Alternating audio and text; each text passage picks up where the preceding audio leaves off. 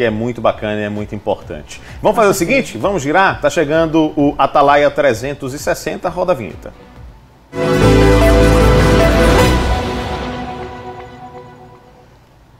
Vamos para onde, Aline? Vamos direto para os estúdios na Nova Brasil FM. Ela já aparece aqui, Jéssica Cruz. Muito bom dia. Bom dia, Jéssica. Bom dia, Aline. Bom dia, Lucas. Tudo bem com vocês?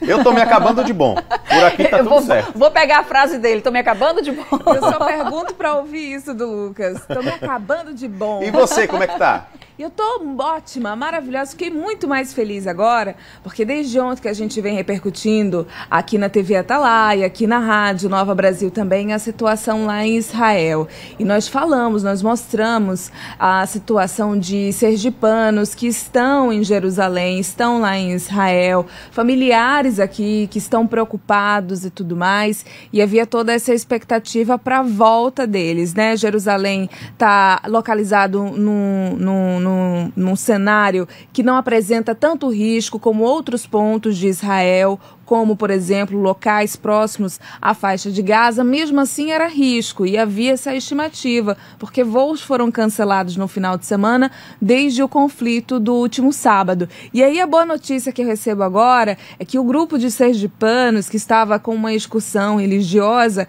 está voltando já aqui para Sergipe, para o Brasil. Então isso é muito bom.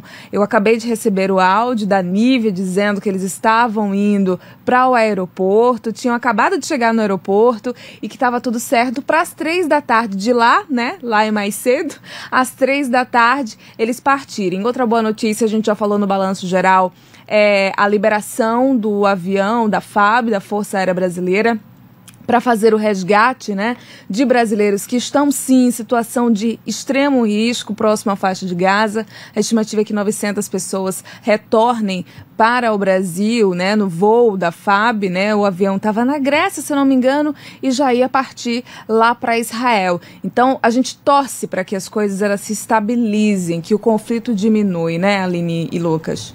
Pois é, Jéssica, um tema importantíssimo, todo mundo aí com os olhos nesse momento lá para aquela região, Israel, faixa de Gaza, e comemorando também a volta, né, o retorno desses brasileiros. Obrigada, Jéssica, pela sua participação. Um abraço, Obrigada Jéssica. a vocês. Até mais. Um abraço também aos ouvintes da Nova Brasil.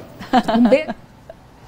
Show de bola, é isso. Um assunto extremamente importante, né, Aline? Sim, com certeza, viu? Um momento de muita tensão, né, ainda. Pois é, que se resolva logo essa situação. E eu quero te lembrar que girar pelo Atalaia 360 também passa pela sua participação. Você pode participar do Sergipe no ar, mandando seu comentário, foto ou vídeo para o nosso WhatsApp. Qual é o WhatsApp, Aline? É o 996520105. Seu comentário é muito importante para a gente, viu? Por favor, manda aí seu comentário, sua dica, sua participação. Eu aproveito para te lembrar que também estamos ao vivo pelo Facebook do portal A8SE e pelo canal do YouTube da TV Atalaia Lucas. São mais de 700 mil pessoas inscritas. E se você ainda não se inscreveu, corre lá, aperta o sininho, faz a sua inscrição e começa a seguir a gente também pelo YouTube.